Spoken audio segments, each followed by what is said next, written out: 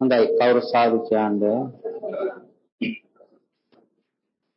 සමන්ත චක්කවාලේසු අත්‍රා ගච්ඡන්තු දේවතා සද්ධාම්මං මුනි රාජස් ස්නන්තු සබ්බ මොක්ඛදං ධම්මස්සවන කාලෝ අයං වද්දංතා ධම්මස්සවන කාලෝ අයං වදංතා ධම්මස්සවන කාලෝ අයං වදංතා නමෝ තස්ස භගවතු අරහතෝ සම්මා සම්බුද්දස්ස. නමෝ තස්ස භගවතු අරහතෝ සම්මා සම්බුද්දස්ස. නමෝ තස්ස භගවතු අරහතෝ සම්මා සම්බුද්දස්ස. යතෝ යතෝ සම්මසති khණ්ඩානං උදයබ්බයං ලබති පීති පාමුජ්ජං අමතං සංජානතං කී සෑම දිනාටම තෙරුවන් සරණයි ශ්‍රද්ධාවන්ත කාර්මික පින්වත්නි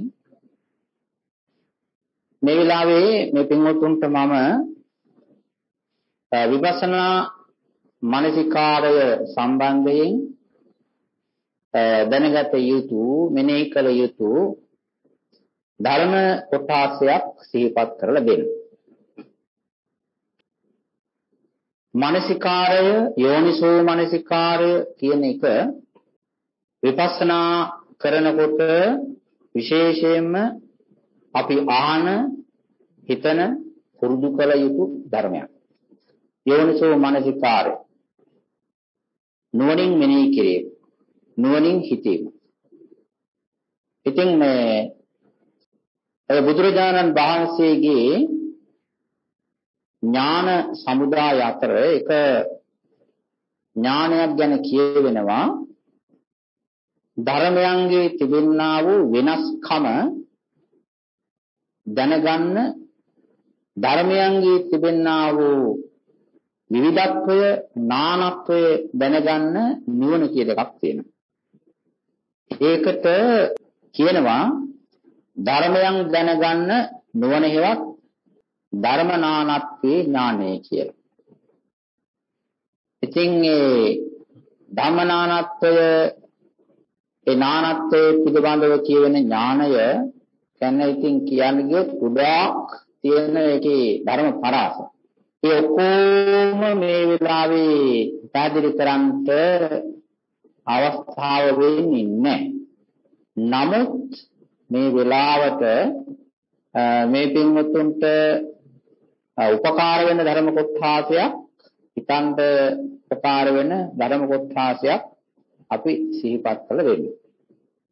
දැන් මේ සීල සමාදන් වෙලා භාවනා කරන්නට ඉදිරිපත් වෙලා ඉන්න මේ මහත්ම මහත්මීන් මෑණිවරු උපාසක මහත්මලා සියලු දෙනාම බුදුරජාණන් වහන්සේගේ ධර්මය අනුගමනය කරන ශ්‍රාවකයෝ හැටියට බලාපොරොත්තු වෙන්නේ පරම ශාන්ත නිර්වාණ ධාතු. නිර්වාණ ධාතුව අවබෝධ කර ගැනීමයි අපේක්ෂාව බලාපොරොත්තු.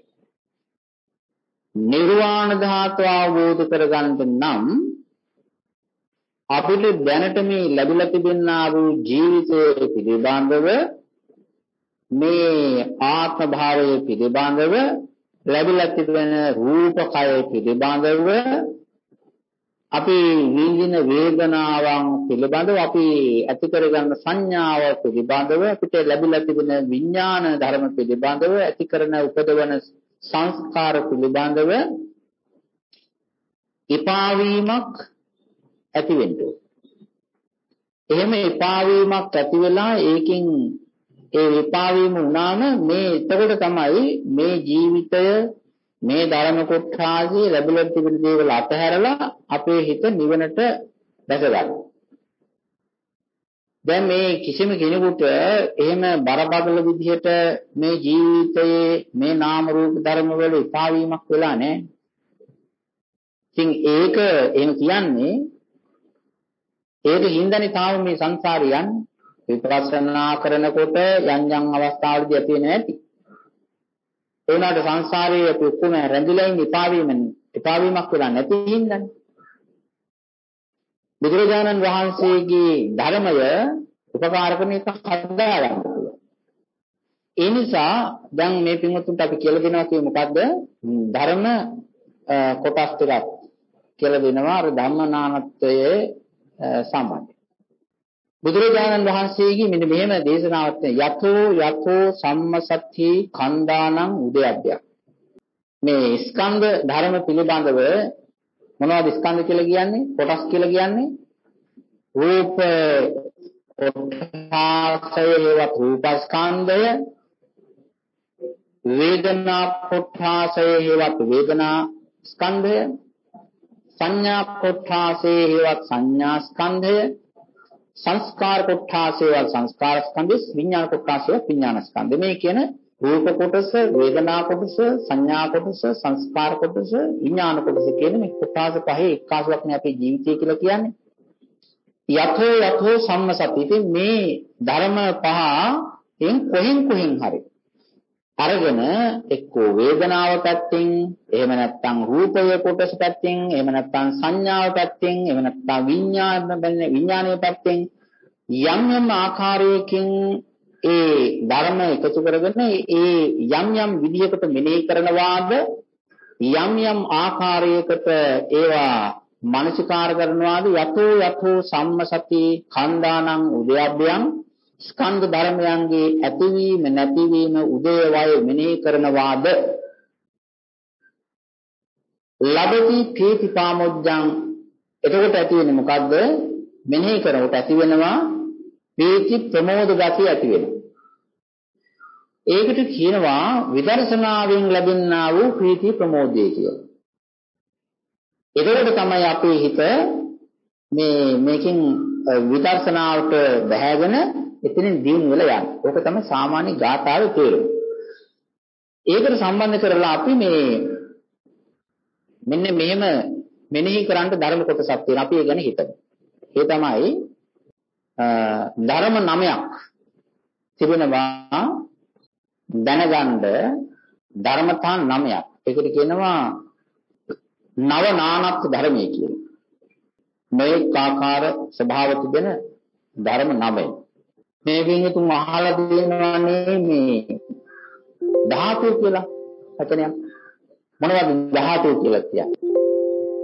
ධාතු කියලා කියන්නේ ධාතු ස්වභාවය කියලා කියන්නේ ඒ කියන්නේ තමන්ගේ ස්වરૂපය අතහරින්න නැතුව සත්වයේ නොවන ආත්මයකුත් නොවන යම්කිසි ධර්ම කොටසක් තියෙනවා නම් ධර්ම ගුණයක් තිබෙනවා නම් ඒකට කියන මොකද්ද? මේ ධාතු ස්වභාවය කියලා. හැබැයි ඒ ධාතු ස්වභාවය දැන් බලන්න ධාතු ස්වභාවය කියලා කිව්වම ඒක ඒක වචනයක්ද බහු වචනයක්ද? බහු වචනයක්. ඇයි එහෙම කියන්න හේතුව මේ ලෝකයේ තිබෙන දේවල් ඇවිල්ලා එකම ධාතු ස්වභාවයක් නෙවෙයි. එකම ධාතුවක් නෙවෙයි තියෙන්නේ. අපේ ජීවිතය ගත්තම හිසේ පටන් පාදාන්තය දක්වාම සහ මේ බාහිර ලෝකයේ ගත්තම මේ ධාතු ස්වභාවය විශාල ප්‍රමාණයක් තියෙනවා. ධාතු ගුණය, ධාතු ගති විශාල ප්‍රමාණයක් තිබෙනවා. වෙනස් වෙනස්. ඒකට කියනවා ඒ ධාතුන් පිළිබඳව දැනගන්න. මම කියන එක තේරෙනවද? මේ වටපිටාවේ තියෙන දේවල් අතුලාන්තයේ තිබෙන දේවල් ධාතු ස්වභාවය හැටියට තේරුම් ගන්නකොට ඒක කියනවා මේ එකම ස්වභාවයක් නෙවෙයි ඒ වගේ තියෙන්නේ. ධාතු වල එකම ගතියක් නැහැ. ධාතු ස්වභාවය වෙනස්. එක ධාතුවකට අනිත් ධාතු වෙනස්. ඒ නිසා කියනවා එකම ආකාරයේ ධාතු ස්වභාවය තිබෙනවා එකම දේ එකම ධාතු නෙවෙයි. ඔක කොහොමද අපි තේරුම් ගන්නේ? තේරුම් ගන්නේ මේ ධර්ම කතනය ටිකක් බරපතලයි. මේ ධර්ම කතනය ඩිංගක් ගැඹුරු. ඒ නිසා පොඩ්ඩක් හිත යොදන්න ඕන. බලන්න මෙහෙම. එක විදියකට කියන මෙහෙම. හිතලා බලන්න චක්ඛු ධාතු කියනවනේ. චක්ඛු ධාතු. ඊළඟට සෝත ධාතු. ගාහන ධාතු. જીවහා ධාතු. ඊළඟට කාය. ඊළඟට මන. දැන් මේවා ගත්තම එකට එකක් වෙනස්. හැබැයි තියෙනවා. සමහර අයගේ ජීවිතවල චක්කු ධාතුව නැහැ. ඒ කියන්නේ ඇස පෙනෙන ඇස පෙනෙන ගතිය නැහැ. මේ ඒක නිසා කියනවා ධාතුන්ගේ නානත්වය. දැන් අනිත් එක බලමු දැන් මෙහෙම දැන්. දැන් ඇසට ග්‍රහණය කරගන්න පුළුවන්කම තියෙන්නේ එකම එක ආවේනික ධර්මයක් විතරයි. ඇසට අල්ලගන්න හසු කරගන්න පුළුවන්කම තියෙන එකම එක ධර්මයක් විතරයි. මොකද්ද? රූපය. අපි රූපය කියලා කියනවා. එතකොට චක්කු ඔයට කරන්න පුළුවන් එකක් තිබෙනවා රූපය කරන්න පුළුවන් එකක් තියෙනවා. මොකද්ද රූපය කියලා කිව්වන් පස්සේ මොන රූපද? රූප 28ක් තියෙනවා. රූප 28ක් තියෙනවා. ඒ රූප 28න් චක්කු ධාතුව කියලා කියනකොට නිකන් ඒක අමුතුම මේ ಗುಣ විශේෂයක්. ඒක අමුතුම ධර්ම විශේෂයක්. ඒක ඇහැ හරිය විතරයිමයි තියෙන්නේ. නලලෙත් නැහැ. හිසෙත් නැහැ. දත්වලත් නැහැ අතෙත් නැහැ. ඇහි විතර. ඇහි තෙතමනේ හරිය මැද ඉතින් ඒ ඇහි එක්තරා ප්‍රදේශයක නිකන් එක්තරා ಗುಣ විශේෂයක් ධර්ම විශේෂයක් තිබෙනවා ඒකට කියනවා චක්කු ධාතු. හැබැයි ඒ වගේ නෙවෙයි සෝත ධාතුව කියන එක. ඒක වෙනත් හැඩයක්. දැන් බලන්නකො මේ ධර්මතා දෙක තියෙන තැන චක්කු ධාතුව කියන රූප ග්‍රහණය කරගන්න පුළුවන් තැන තියෙන්නේ නිකන් තෙතමනයක් වගේ. එහෙම නෙදීනේ ඇහි ඇහි කියන තෙතමනයක් වගේ තියෙන නිදිර ගතිය. හැබැයි කනේ තියෙන්නේ තෙතමන ගතියක් නෙමෙයි කුහර ගතියක්. කුහර ගතියක් තියෙනවා එනිකන් ඒක දෙනයක් වගේ දෝංකාර සහ ඊට පස්සේ තියෙනවා පොඩියට කෙන්ඩක් වගේ ඉතී තිබෙන්නා වූ ගතිය. දැන් එතන තෙතමනේ කියලා එකක් නැහැ. ඇහි වගේ තෙතමනයක් එතන නැහැ. ඉතින් මේ ස්ථාන දෙමේ ධාතු ස්වභාවය දෙන්න පවතින තැන් දෙක වෙනස්. ඒ නිසා ඇහැට ඇහි තිබෙන චක්කු ධාතුවට පුළුවන්කම තියෙන්නේ එකම එක රූ එක එක එකම එක ධර්මයක් සම්බන්ධතා කර සම්බන්ධ කරන්න විතරයි. ඒ මොන ධර්මයේද? වර්ණ රූපය. ඔය පාට තියෙන්නේ. පාට ග්‍රහණය, වර්ණ ග්‍රහණය විතරයි ඒ ඇහැට පුළුවන්කම තියෙන්නේ. ඒ නිසා මේ වර්ණය කියන එක දැන් අපි බලන කොච්චර ඔය වටපිටාවේ ගිහිල්ලා මිනිස්සු යනවනේ පාක් එකට නේද? අපි තොරම් බලන්න යනවා කියලා යනවා පාක් එකට යනවා මොනවද ගිහිල්ලා බලලා ඉන්නේ? කොච්ච කොහේ ගියා? මේ ඇස් දෙකෙන් බලලා ඉන්නේ පාට විතරයි. හඳේ ගියත් හඳට ගියත් මේ අය බලලා ඉන්නේ මොනවද? වර්ණ රූපේ විතරයි. ඊජිප්තුවට යනවා. බලලා ඉන්නේ මොකද්ද? වර්ණ රූපේ විතරයි. පාටකට යනවා, ගස් කොළන් යනවා. හැම තැනම මේ ඇහැට පුළුවන්කම තියෙන්නේ වර්ණ ග්‍රහණය විතරයි. ඒ වර්ණයට තමයි අපි කියන්නේ රූප ධාතුයි කියලා කියන්නේ අර ගෝචර රූපය කියලා කියන්නේ. චක්කු ධාතු. දැන් ඇහැට පුළුවන්කම තියෙන්නේ අර වර්ණ ග්‍රහණය විතරයි. ඒකට මේ බලන්න දැන් වර්ණ රූපයට බෑ වර්ණයට බෑ ඇහැ බලා ගන්න. ඒක හරි හරි අමුතු. ඇහැට පුළුවන් ඇහැ කියන්නේ චක්කු ධාතුවට පුළුවන් චක්කු ගුණයට පුළුවන් වර්ණය ග්‍රහණය කරන්න වර්ණයට බෑ චක්කු ග්‍රහණය කරන්න. මේ කතාව තේරෙනවද? ඒක නිසා හැම වෙලාවෙම මේ වර්ණය අහු වෙන්නේ කොතනකද? චක්කුවේ විතරයි. කොච්චර කනගාව රූප තිබුණත් කනට මේ වර්ණය අහු වෙන්නේ නැහැ. දැනෙන්නේ නැහැ. ඒ නිසා වර්ණ රූපය වගේ නෙවෙයි කනට අහු වෙන ශබ්ද රූපේ. ශබ්දය කියලා කියන්නේ දෝංකාර ගුණයක් වගේ ශබ්ද ගතියක්නේ. නේද?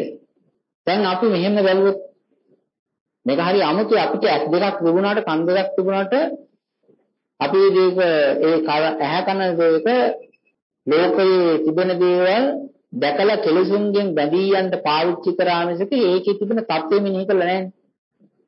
ඒකෙන් අපි රැඳෙන්නේ ඉන්නේ එතන. දැන් අපේ ජීවිතයේ ළඟ අපේ ජීවිතයේ තිබෙන ධර්මතා දෙකක්. එකක් චක්කු ස්වභාව චක්කු ධාතුව අනිත් එක සෝත ධාතුව අනිත් එකට ගෝචර වෙනවා. මොකද්ද?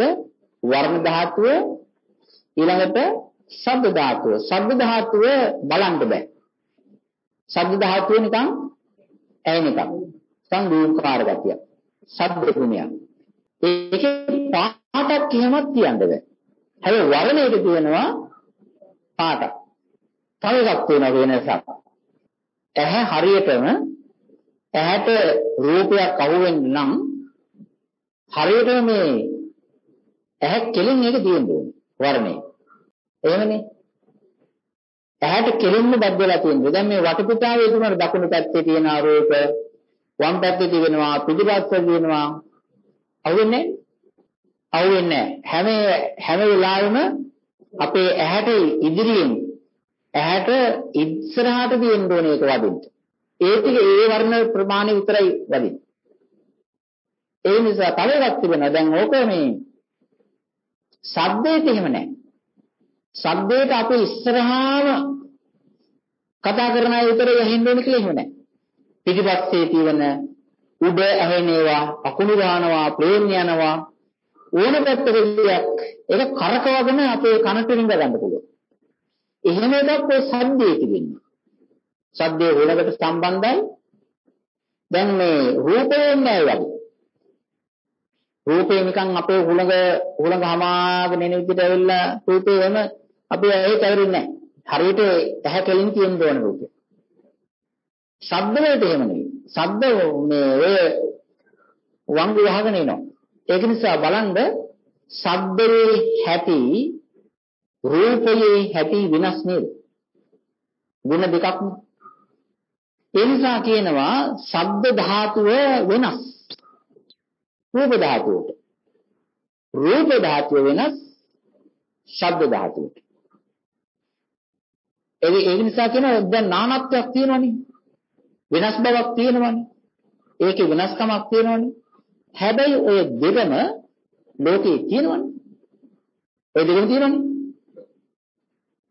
ඊළඟට බලන්න නාසය ගන්ධ ධාතුව බලන්නකො දැන් මේ ගඳ සුවඳ ඔබ දෙකම ගන්ධ ධාතුවනේ. ඔය එකක්වත් මේ කනේ ගිහිල්ලා වදින්නේ නැහැ. කනට ස්පර්ශ වෙන්නේ නැහැ. ඇහැට වදින්නෙත් නැහැ. ඇහි ස්පර්ශ වෙන්නෙත් නැහැ. ගන්ධය කියන එක හරියටම ගන්න තැනක් තියෙනවා. ඒක කනෙත් නෙවෙයි තියෙන්නේ. ඇහෙත් නෙවෙයි තියෙන්නේ. ඒක තියෙන්නේ කොහෙද? නාසයේ. නාසයට අදාළ පරිසරයට මේ වර්ණයකුත් නොවන ශබ්දයකුත් නොවන පෙන්වන්නත් බැරි නෑ කියන්නත් බැරි යම්කිසි දෙයක් තියෙනවනේ මලක මලක අපි මලක් සම්බන්ධ වෙන්නේ මෙහෙමයි සරලව ගත්තොත් මලක ධර්මතා දෙකක් තිබෙනවා. ගාතාවක් කියනකොට එහෙමයි කියන්නේ. මලක ධර්මතා ධාතු ගුණ දෙකක් ප්‍රකටයි. නිකන් හිතන්නකෝ බලන්න. මොකද්ද ධර්මතා දෙක මලක තියෙන ධාතු ස්වභාව දෙකක්. මොකද්ද? වර්ණයයි ගන්ධයයි. එහෙම කියන්නේ වන්න ගන්ධ ගුණෝපේතං. එතකොට වර්ණ මලේ තිබෙනවා බලවත් වර්ණ රූපී ගතියක්. ඒක සම්බන්ධ ඒක එන්නේ කොහෙටද කෙලීම ඉන්නේ අපේ හැට. ඒ නිසා මලක වර්ණ ග්‍රහණය ගතිය අපේ ඇහි තියෙනවා. ඉතින් හැබැයි මලට නෑ. මලට නෑ ඒ මලට කී තිබෙන්නා වූ ඊළඟ මලේ තිබෙන හැටිය තේරුම් ගන්න පුළුවන් ගතියක් මල් වලට නෑ. මල් වල තිබෙන පාඩ තේරුම් ගන්න පුළුවන් ග්‍රහණ ගතිය තියෙන කොයි හරියද මේ ඇහි විතරයි. හැබැයි මේ මලේ තිබෙන ධාතු ස්වභාව දෙකෙන් එකයි ඇහැගන්නේ. මොකද්ද? වර්ණ ගතිය. ඊළඟට තියෙනවා ගන්ධ ගතිය. ඒක ඇහැට යන්නේ එක වස්තුවේ තියෙන්නේ. එක මලේ තිබෙන්නේ. මොකද්ද? මලේ තිබෙනවා ප්‍රකට වර්ණය, මලේ තිබෙනවා ප්‍රකට ගන්ධය. හැබැයි ඒ වර්ණය ඇහැට ගියාට ගන්ධය ඇහැට යන්නේ නැහැ. ගන්ධය යන්නේ නහයට. ඒ කියන්නේ ගන්ධයට අදාළ ඒ ග්‍රහණ මේ ස්වාමියා ඉන්නේ කොයි හැටිද? නාසයේ. ඒ නිසා මේ මලේ ධාතු ස්වභාව ගුණ දෙකක් තිබෙනවා. ඒ තමයි එකක් වර්ණ තව තියෙනවා. මේ මේ කාරණේ තේරුම් ගන්න වර්ණ ගතිය සහ ගන්ධ ගතිය. දැන් ඔය වර්ණයයි ගන්ධයයි ඔය මලේ ඉඳලා අපේ නාසයටයි ඇහැටයි එන්න ට්‍රැවල් කරනවා නේද? අපි යන්න ඕනේ නැහැ. එතෙන් සුවඳත් ඒ කිපුරියන් පස්සේ සුවඳත් අපි කෙලීම එනවා. අනිත් එක වර්ණයක් කෙලීම එනවා.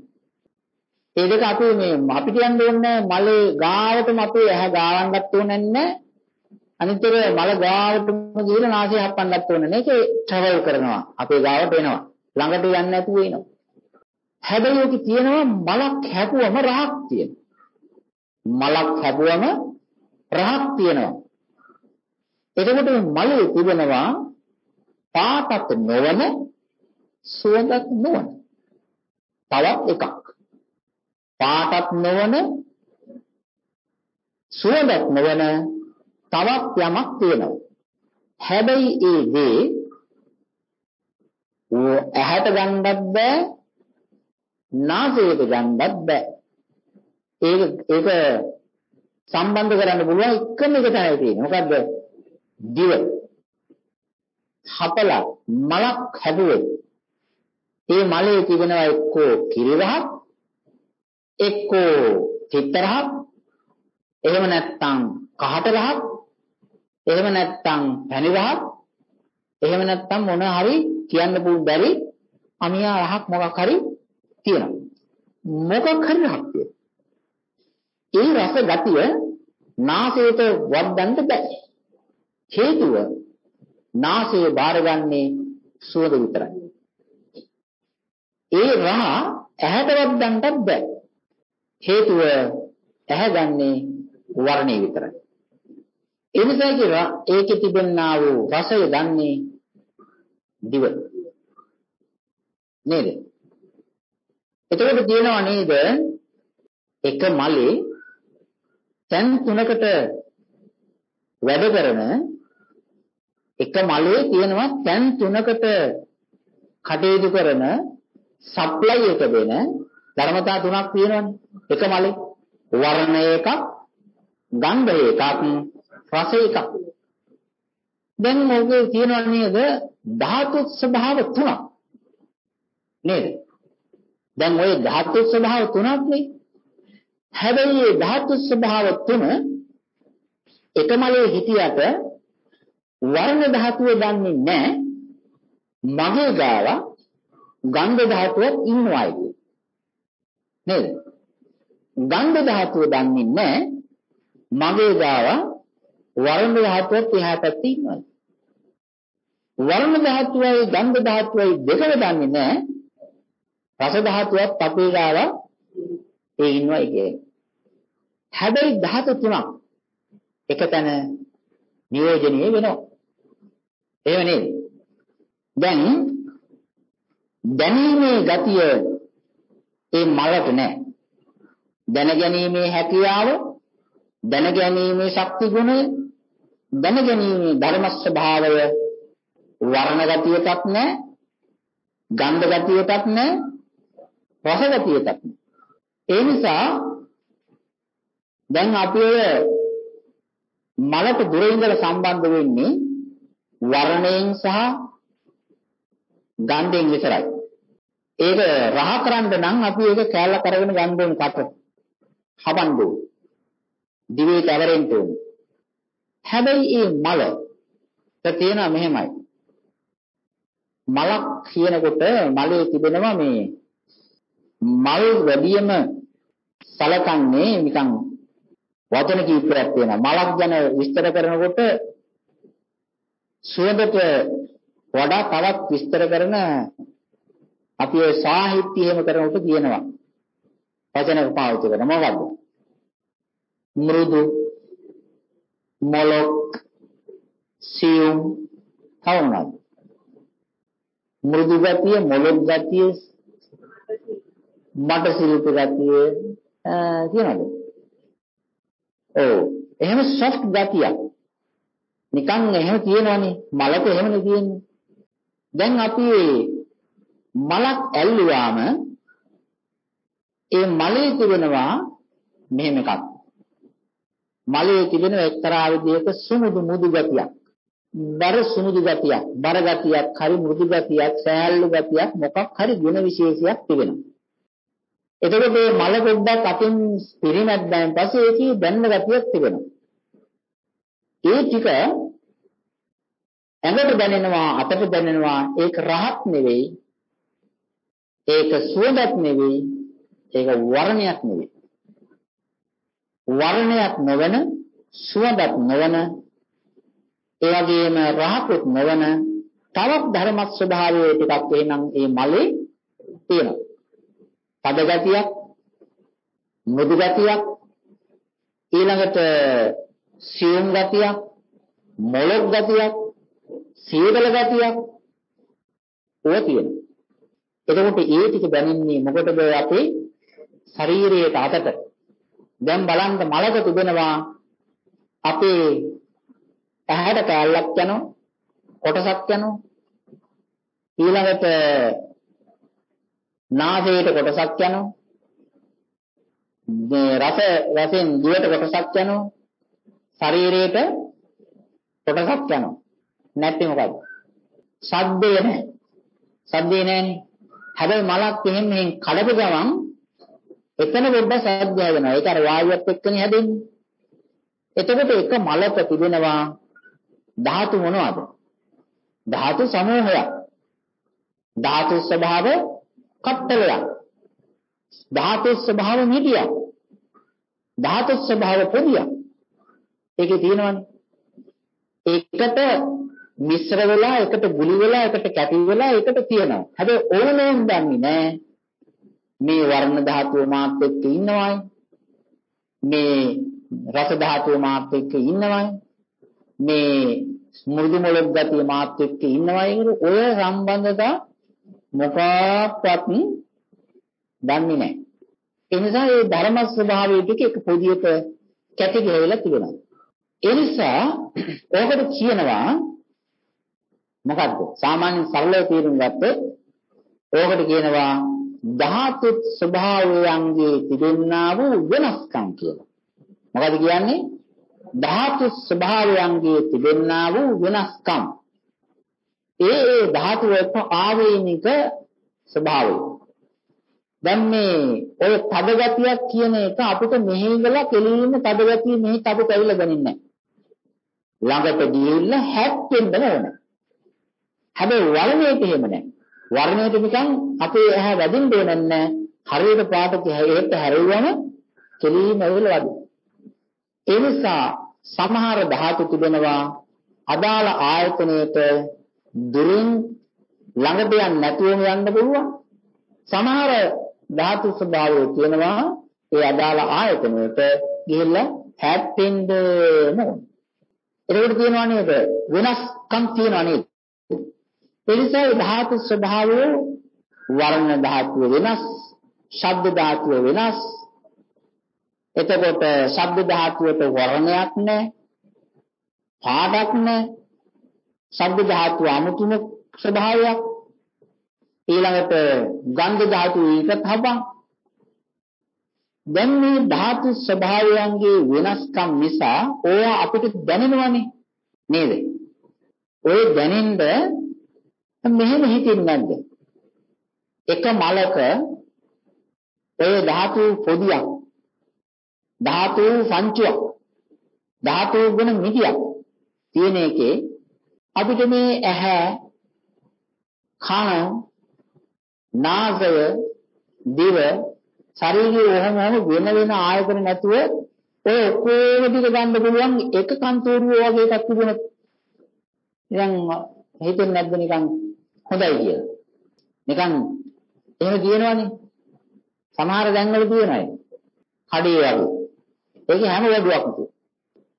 ඒක හිතෙන්නේ නැද්දනේ එක ආයතනයක් මොකක් හරි තිබුණොත් එහෙම ඒකෙන් ශබ්ද ආයතනයක් පුළුවන් ඒකෙන් අහගන්න පුළුවන් බලා ගන්න පුළුවන් එහෙම එහෙම බෑ මේ ධාතු ස්වභාවයන්ගේ තිබෙන ඒවා ග්‍රහණය කරගන්නා වූ මේ ප්‍රධාන මූලික ධාතු වස්තුන් එහෙම නැත්නම් මේ චක්කු ධාතුව ඒවට කරගන්න පුළුවන්කම තියෙන ඒවා හරි දුර්වලයි. ඒකට පැත්තකින් කිව්වොත් ඔය චක්කු ධාතුවට මුළු ලෝකේම බලන්න පුළුවන් වුණාට ඒ චක්කු ධාතුව කියන එක ඊතරම් මේ මහා වැඩ හයියෙන් කරන්න පුළුවන් එකක් නෙවෙයි. දෙක තුන කරන්න බෑ. එයාට පුළුවන්කම තියෙන්නේ ඉස්සරහා පැත්තට හැරවල තිබුණොත් එහෙම වර්ණ ග්‍රහණය විතරයි. එයාට ශබ්ද ග්‍රහණය අරවා මේවා මොකක්වත් බෑ. ඒ නිසා එහෙම එකකට විතරක් පුළුවන්කම කියන වැඩි වැඩ බැරි දුර්වල ස්වභාවයක්. ධර්ම ස්වභාවයක් තියෙනවා. ඒ නිසා මේ චක්කු ධාතුව එකක් අල්ලනවා. සෝද ධාතුව කියන එක ගිහිල්ලා ශබ්දේ විතරක් අල්ල ගන්නවා හිමීට. එයාගේ ගාවට ගෙන්නනවා. අනිත් එක ගානේ මොකද්ද මේ ගන් ගාන ධාතුව ගන්ධය විතරක් ගන්නවා. ජීවහා ස්වභාවය රස විතරක් ගන්නවා. ඒ නිසා අනිත් එක තමයි කාය ධාතුව පොට්ටබ්බ විතරක් ගන්න. දැන් මේ ස්ථාන 6 නියෝජන ගන්නේ දෙවියන්ගෙන් එකිනෙක විතරයි. අපි කැම බිමා කුඟානා. වෙලාවක් තමයි කැම කුඟානේ ඉගෙනවා සුවඳ. නේද? සුවඳ. ඒ කැම කුඟානේ සුවඳ ඇහැට යන්නෙත් නැහැ. ළඟට කනට යන්නෙත් නැහැ. දිවට යන්නේත් නැහැ. මොකද යන්නේ? නාවේට විතරයි. කැමරේ තියෙන වර්ණය යන්නේ ඇහැට විතරයි. ඒ වගේ තිබෙනවා මේ ධාතුන් ස්වභාවයන්ගේ තිබෙනවා වෙනස්කමක්. වෙනස්කමක් තිබෙනවා. ඕකට කියනවා මොකද්ද? ධාතු නානත්වය. ධාතු කියන ධර්මවල නානත්වය. ධාතු කියන ධර්මවල වෙනස්කම්. වෙනස්කම. ඒකට කියනවා ඔකට නුවණක් අවශ්‍යයි. ඔය ටික තේරුම් ගන්න හොඳ නුවණක් අවශ්‍යයි. හොඳ ඥානයක් අවශ්‍යයි. හොඳ ප්‍රබල මානසිකාර ගුණයක් අවශ්‍යයි. ඒකට කියනවා මොකද්ද? මේ ඥානයට කියන මොකද්ද? ධාතු ස්වභාවයන්ගේ වෙනස්කම හඳුනා ගන්න, ධාතු ස්වභාවයන්ගේ වෙනස්කම දැනගන්න ධාතු නානත්තේ ඥානය කියලා කියන්නේ. මොකද කියන්නේ? ධාතුන්ගේ නාමත්වයේ දකින ධාතු නාමත්ව ඥානය කියලා කියන්නේ.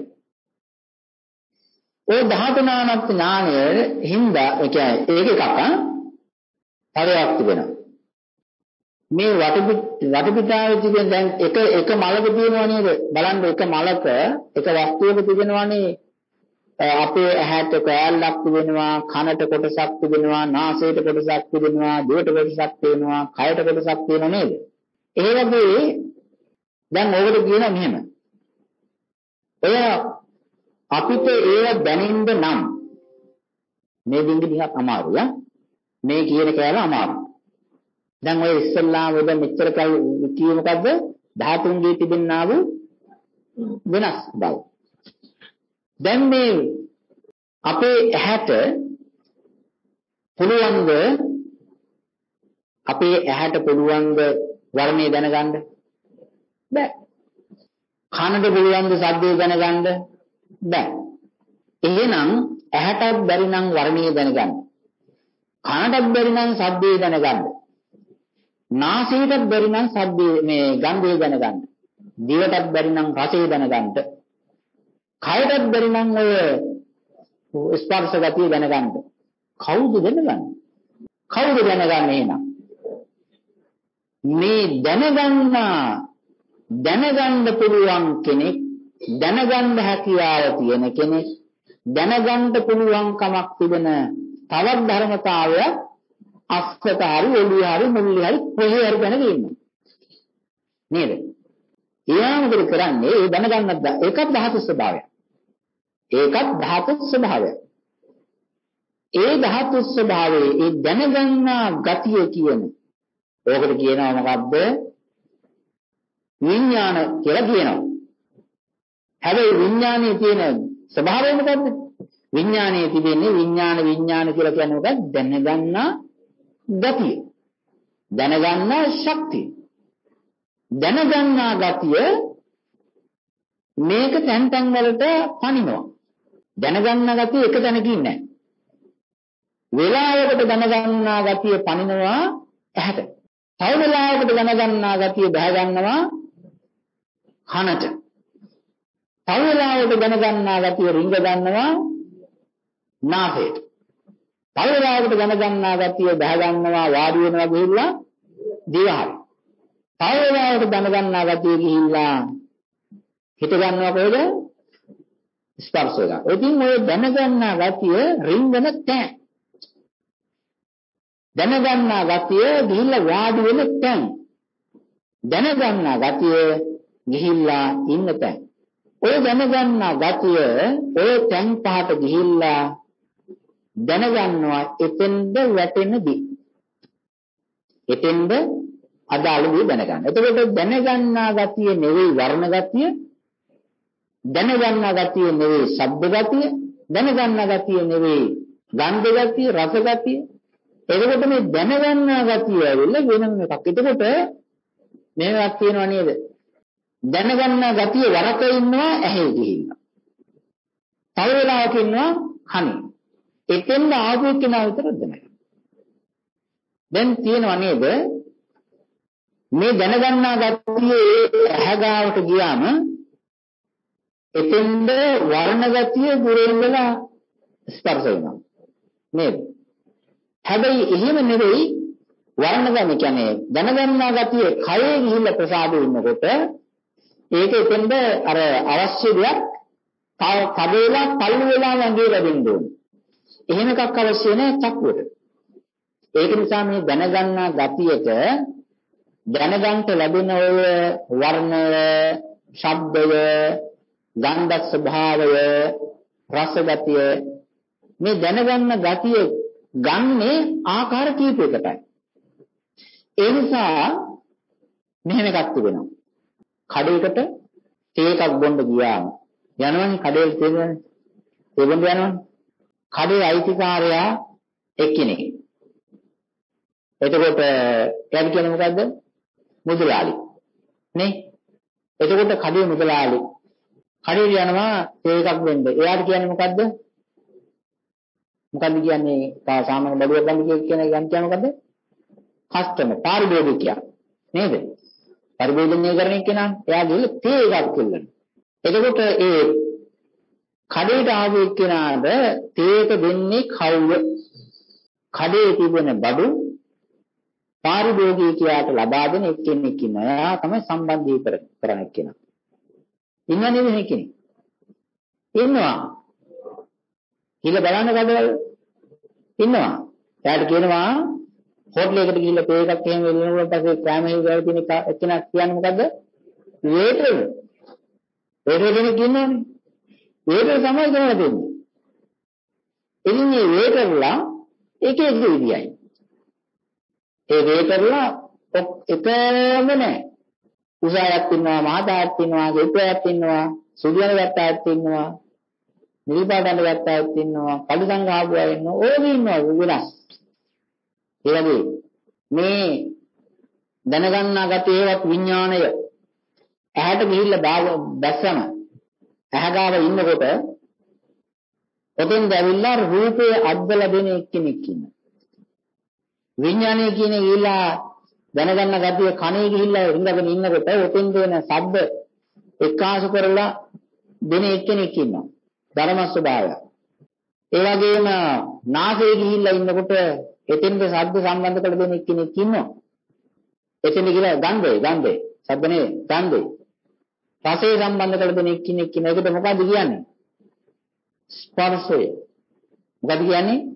ස්පර්ශය කියලා කියන්නේ. ඒක නිසා මේ ධාතු ස්වභාවයන්ගේ වෙනස්කම නිසා ධාතු ස්වභාවයන්ගේ තිබෙන විවිධත්වය නිසා ධාතු ස්වභාවයන්ගේ තිබෙන වෙනස්කම විවිධත්වය නිසා ස්පර්ශය කියන එක වැඩ කරන්නේ ආකාර 6කටයි. ආකාර කීයකටද? 6කට කියන්නේ දැන් ඔය ස්පර්ශය වර්ණයක් සම්බන්ධ කරන විදිහට නෙවෙයි සද්දයක් සම්බන්ධ කරන්නේ. ඒකට වෙන එකක් තිබෙනවා. ඊළඟට ගන්ධයක් සම්බන්ධ කරන විදිහට නෙවෙයි වර්ණයක් සම්බන්ධ කරන්නේ. ඒ නිසා මේ ධාතු නානත්වය ධාතුන්ගේ තිබෙනා වූ වෙනස්කම නිසා මොකද වෙන්නේ? ධාතුන්ගේ තිබෙන වෙනස්කම නිසා ඒකෙන් යන ස්පර්ශයක් ගිහිල්ලා මොකද වෙන්නේ? ස්පර්ශයක් වෙනස්. ඒ නිසා කියනවා ධාතු නානත්තං පටිච්ච පස්සනානත්ත. පස්සනානත්. ඒ කියන්නේ ධාතු නානත්වය නිසා ධාතුන්ගේ වෙනස්කම නිසා තමයි ස්පර්ශත් ස්පර්ශය තමයි. හැබැයි ස්පර්ශය වැඩ කරන්නේ හය ආකාරයකටයි. හය ආකාරයකට. ඒ නිසා ස්පර්ශයක් තියෙනවා කියද්ද? හයක් තියෙනවා. මේක හරි බරපතලයි. මේක හරි සියුම්. මේක හරිම සූක්ෂමයි. මේවා බොහෝම බොහෝම ඕනෑකමින් මානසිකාරය දාලා යෝනිසෝ මානසිකාරය හරවලා හොද්දට සියුම්ම මෙනෙහි කරන්න ඕන ධර්ම. හිතලා බලන්න. මේ ස්පර්ශය වැඩ කරන විදිහ එකක් තියෙනවා. ස්පර්ශය ස්පර්ශයට පුළුවන් ඈ ගිහිල්ලා මලේ ගෑවෙන්නේ නැතුව තියෙද්දිම ස්පර්ශයට පුළුවන් නිකම්ම ඡායාව නිකන් ඇදලා මෙහෙම සම්බන්ධ කරන්න. හැබැයි රසය සම්බන්ධයෙන් ස්පර්ශයට එහෙම බෑ. හැම වෙලෙම ස්පර්ශය ගිහිල්ලා රසය කියන එක හරියට අර දිවේ තිබෙනා වූ රස මොකක්ද ඒකට කියන්නේ ආයතනික ධාතු ස්වභාවයේ තිබෙන රස ග්‍රහණ ඒ ආයතනයේ තිබෙන මේ තැනට ගිහිල්ලා හප්පන්න ඕන එතන තෑවෙන්න ඕන එතන ඇතිල්ෙන්න ඕනේ මේ රෙටේට කියනනේ ස්පර්ශයේ විදි දෙකක් නේ එකක් එකක් වෙනකොට දුරේ ඉඳලාම පුළුවන් අනිත් එක්කෙනා මේ ළඟට යන්න ඕන තවත් විදියක් වෙනවා දැන් වර්ණය ඇහැට සම්බන්ධ කරන්ද උලඟක් අවශ්‍ය නැහැ හැබැයි ශබ්දය අපේ කනේ තවරන්න හැම වෙලේම ඒක වෙනස් විදියකට වෙන්නේ. ඒක නිසා මේ ස්පර්ශය කියන ඒවා අපි සාමාන්‍යයෙන් කියනවා මෙහෙම. සාමාන්‍යයෙන් කියනවා ස්පර්ශය කියලා. හැබැයි ස්පර්ශයේ තේරුම තමයි ආයතනයකට අදාළ තැනට අදාළ ධර්ම ස්වභාවය එකතු කරලා දෙනවා. සම්බන්ධීකරණය කරලා දෙනවා. එක්කාසු කරලා දෙනවා. ලං කරලා දෙනවා. හප්පල වෙනවා වද්දලා වෙනවා ආයකට කියනවා මොකද්ද? ස්පර්ශය කියලා. හැබැයි ඒ ස්පර්ශය ආයතනෙන් ආයතනයට වෙනස් විදිහකට වැඩ කරන්නේ. ආයතනෙන් ආයතනයට වෙනස් විදිහකට වැඩ කරන්නේ. ඒක නිසා කියනවා ස්පර්ශත් හැබැයි තිබෙනවා කී ආකාරයක්ද? හය ආකාරයක් වෙනවා. ධාතුනානත්වය නිසා ස්පර්ශය වෙනස් වෙනවා ධාතු නානත්වය නිසා ස්පර්ශය වෙනස් වෙනවා. ඒ නිසා ස්පර්ශයේ තිබෙනවා හැඩතල හයක්. ඒ නිසා ස්පර්ශයේ තේරුම් ගන්නකොට අපි තේරුම් ගන්න ඕනේ පොඩ්ඩක් හිතන්න ඕනේ මෙනෙහි කරන්න ඕනේ. ඇයි?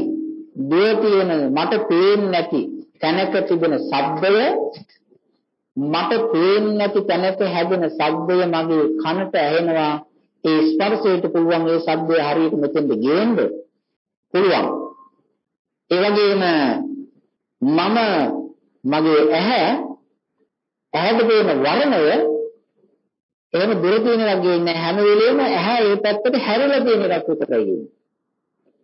ඇහැ ඇහැ ඉදිරියේ තිබෙනා වූ වර්ණයක්. ඇහැ තියාගත්තම වර්ණ ග්‍රහණය ක්ලෝස්. ඇහැ තියාගත්තම වර්ණ ග්‍රහණය ඉන්නේ ඔක්කොම ක්ලෝස්. හැබැයි ඇහැ තියාගත්තත් අපි කර්මයේ හිටියත්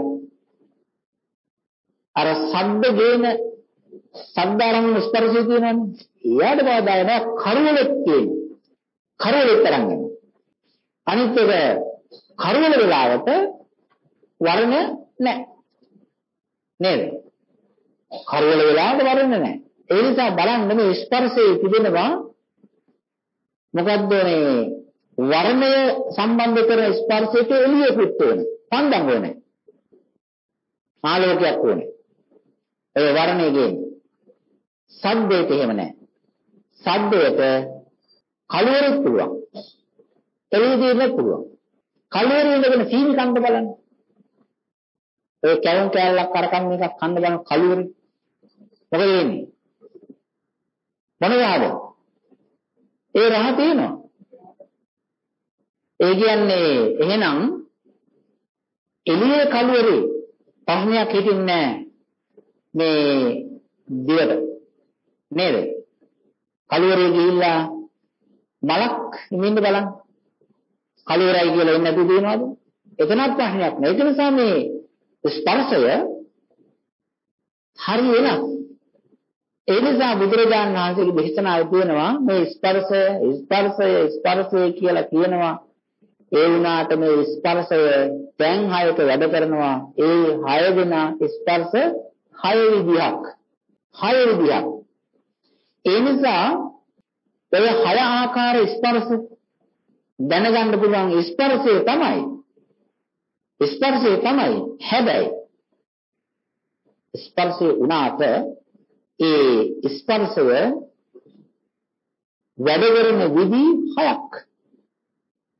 ඒ නිසා ඒ ස්පර්ශයන්ගේ තිබෙනා වූ ස්ථාන හයක වැඩ කරන විදි හය වෙන විදිහට දාන වෙන වෙන විදිහ ආකාර දැනවන්නට කියනවා. මොකද්ද? ධර්මයක් ඒ නානත්වයක් නේ ඒ කියන්නේ ස්පර්ශයේ තිබෙන වෙනස් බව. ස්පර්ශයේ තිබෙන වෙනස්කම්. ස්පර්ශයේ තිබෙනා වූ වෙනස් බව දැනගන්න ඕක දැනගන්න මොකද වෙන වෙන්නේ? ඥානයක් කලින් විඥාණයට බෑ. විඥානය නිකන් අර උඩ. විඥානයේ ඇවිල්ලා හරි නිකන් උඩින් බලන එකක් නේ තියෙන්නේ. මේකේ තිබෙන වෙනස දැනගන්න මොකක්ද අවශ්‍ය? ඥාන ප්‍රඥාව අවශ්‍යයි. මේකේ තියෙන හැඩකල බලා ගන්න.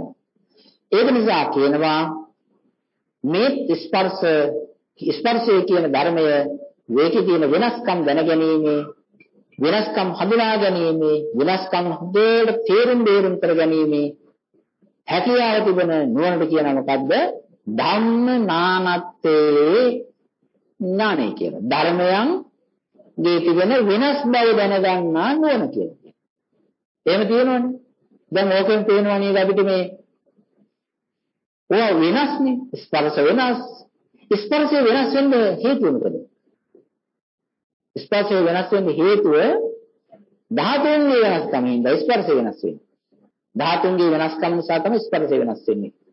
දැන් මේ තව එකක් තිබෙනවා. කොච්චර දුරට මේක කියන්න පුළුවන් වෙනවද දන්නේ බලමු උත්සාහ කරලා. දැන් මේ විඳුතුන්ට තේරුණාද මේ ස්පර්ශයක් ඇවිල්ලා මේ ස්පර්ශය වෙනස් කියලා.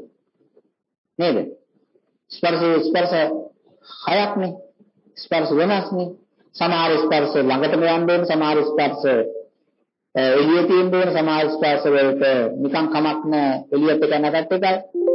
ඉතින් ඒ ආයතන වල වදින හැටි ඒ වගේම තමයි මේ ස්පර්ශ ඉන්න මේ මේ ඇහැට කනට නාසයට දිවට ශරීරයට හිතට මේ අතුලාන්තයෙන් සහ බාහිරින් එන මේ අරමුණු කියලා ගැටෙත් වෙනනේ මේ වර්ණ ආරම්මණය ගඳ ඒ වගේ දේවල් එනකොට මෙන්න මෙහෙම එකක් කියන්න ඕනේ.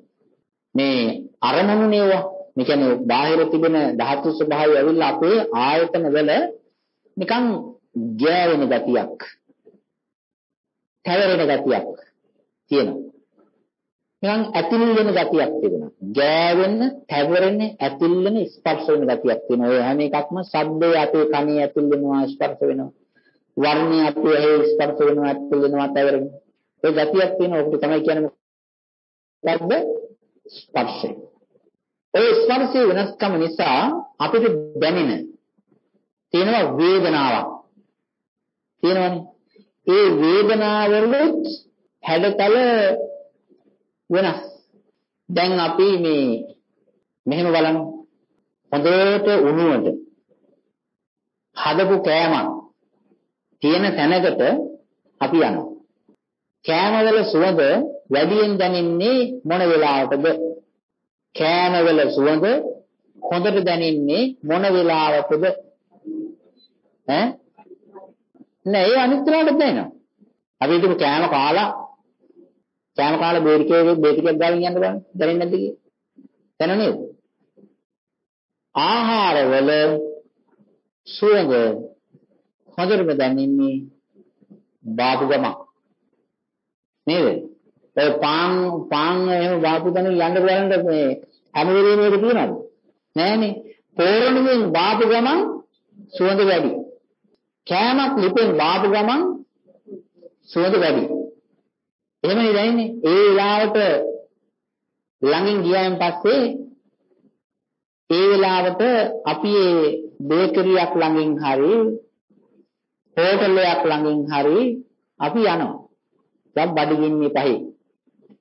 යනකොට ඒ සුවඳ ඒ සුවඳ අර හුළඟේ ඇවිල්ලා අපේ නහයේ ටිකක් තවරාගෙන අතුල්ලාගෙන අපි නිකන් අමාරුවේ දමාගෙන යනවා.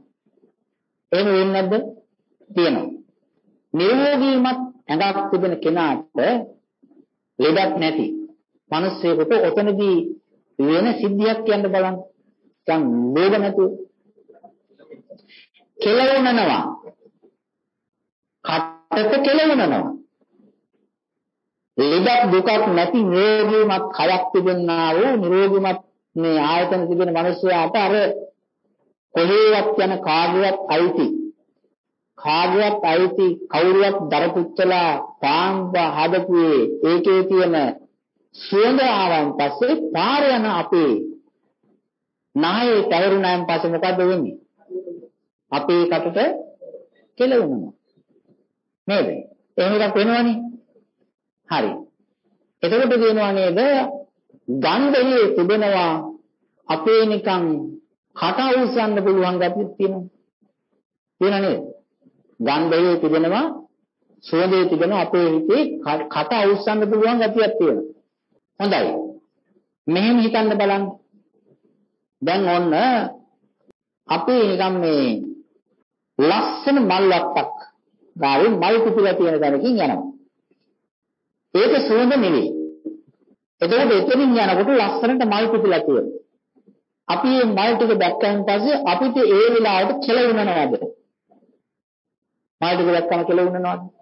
නැහැ. එහෙනම් ගන්ධයේ තිබෙනවා අපිව අවුස්සන ශරීරය වෙනස් කරන ශරීරයේ අවුස්සන කෙල උනවන හැකියාවක් ගන්ධයේ තියෙනවා. නේද? හැබැයි වර්ණයට ඒ හපංකම නෑ නේද වෙනස්නේ.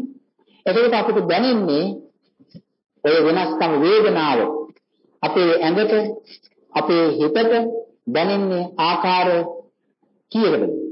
ඒකටයි. නේද? ආන්න ඒ වගේ.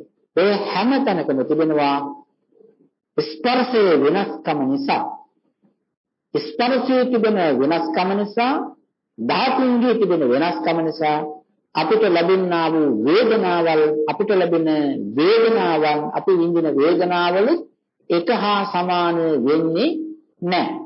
ඒ නිසා ඇහෙන් දැකලා විඳිනවා වෙනස්. කනින් අහලා විඳිනවා වෙනස්. නේද? නාසයෙන් ආග්‍රහණය කළ විඳිනවා වෙනස්.